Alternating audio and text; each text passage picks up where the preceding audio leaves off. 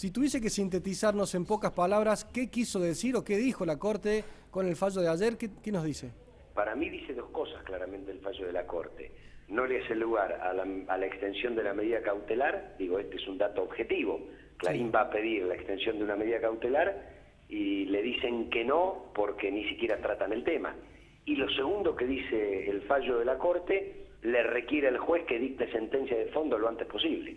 Lo antes posible las dos cosas que dice. Después, cada uno podrá inventar eh, una tercera, una cuarta, pero no dice ninguna otra cosa. Bien, ¿qué implica? dicte sentencias. ¿Qué implica cada una de estas cosas? Que vence la cautelar, que no se, no se puede ampliar, que es que el 7 de diciembre termina la cautelar.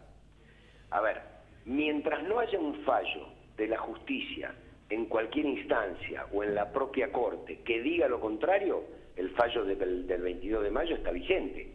Sí. La, única novedad es que le pide al juez que dicte sentencia lo antes posible y eso también es celebrado por el gobierno porque nosotros siempre dijimos que mientras no haya una sentencia de primera instancia iban a reinar las cautelares.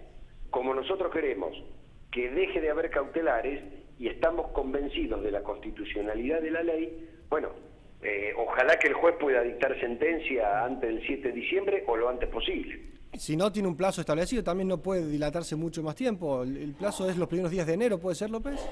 Sí, lo que sucede es que después empiezan las especulaciones. Bueno, ¿y qué pasa si el juez no dicta sentencia el 7 de diciembre? Bueno, mientras, desde el punto de vista técnico, mientras nadie modifique el fallo de la Corte 22 de mayo, el 7 de diciembre se aplica la ley. Ahora, si de acá al 7 de diciembre no hay sentencia y la Corte extiende la cautelar, pero no ha ocurrido hasta ahora. Hasta ahora fue bien clara la Corte. El pedido de extensión de cautelar, no.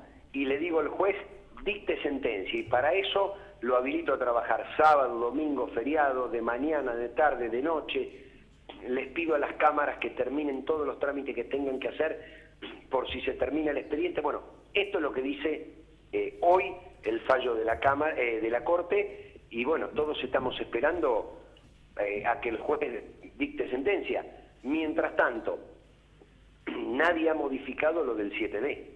Bien, una, una pregunta hipotética también. El 7 de diciembre se vence la cautelar. Suponiendo que no haya sentencia de fondo sobre el 161, el artículo de adecuación, ¿Qué pasa en el camino? En principio, mientras ningún tribunal vuelva a extender la cautelar, se, aplica la ley. Se aplica la ley. Se, aplica, la ley hasta tanto se resuelva de fondo el 161. Exactamente. Bien, con lo cual tiene que comenzar a adecuarse el grupo Clarín y los veintipico de grupos que están excedidos a partir del 7 de diciembre. Bueno, en principio, eh, el resto de los grupos ya no está ninguna medida cautelar. Entonces los plazos ya están vencidos, se le extendió hasta el 7 de diciembre. Digo, solo estamos, digo, la cautelar solo ha beneficiado hasta el 7 de diciembre al grupo Clarín, el resto ha desistido. Quiere decir que hay claramente dos grandes grupos, todos y Clarín. Todos se tienen que adaptar al 7 de diciembre, Clarín hasta ahora se tiene que adaptar al 7 de diciembre porque es lo que sigue manteniendo el fallo de la Corte. No he leído en sus dos páginas y en ninguno de los tres puntos que dijera lo contrario. Si alguien cree que lo va a decir en el futuro, le preguntaría qué va a salir el gordo de Navidad porque compraría el billete.